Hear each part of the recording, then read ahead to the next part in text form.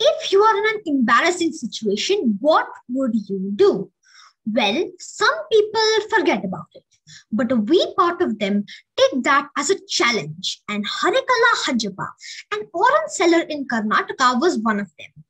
One day, a foreigner came up to him and asked him the price of an orange. He was unable to reply as he didn't know English.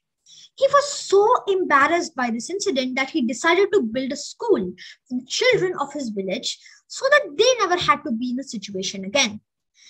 Every day, out of his sparse salary, he would save 150 rupees for building the school. After 10 years of hard work, his dream came true. And because of this, he was awarded the Padma Shri recently. Good morning, everyone. I'm Samyak K. Roy. Everyone has desires and dreams, and there's only one way to make them come true. Where there is a will, there is a way. Let's break the proverb down into two parts. The first one being where there is a will. This means that wherever you have an aspiration, you have to work towards it unconditionally.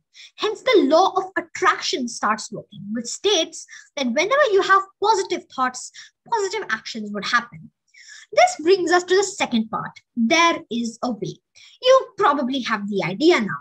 If you never lose hope and you have the right attitude, success is inevitable. You will always find a way to solve any problem that you face.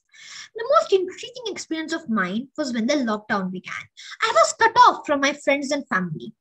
Pre lockdown, I was an extrovert. I used to participate in contests and quizzes. But this all froze when COVID 19 barged in. So I thought this was the perfect time to hone my communication skills and my personality.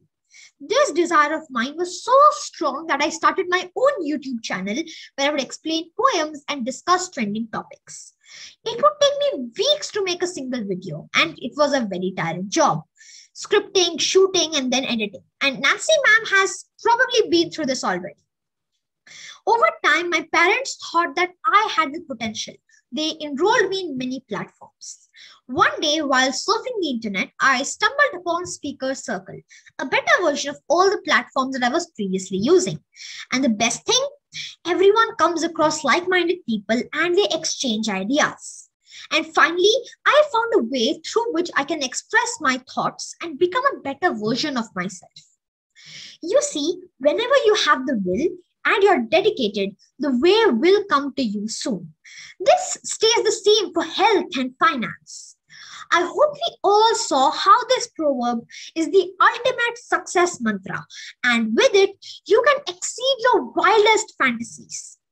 Thank you.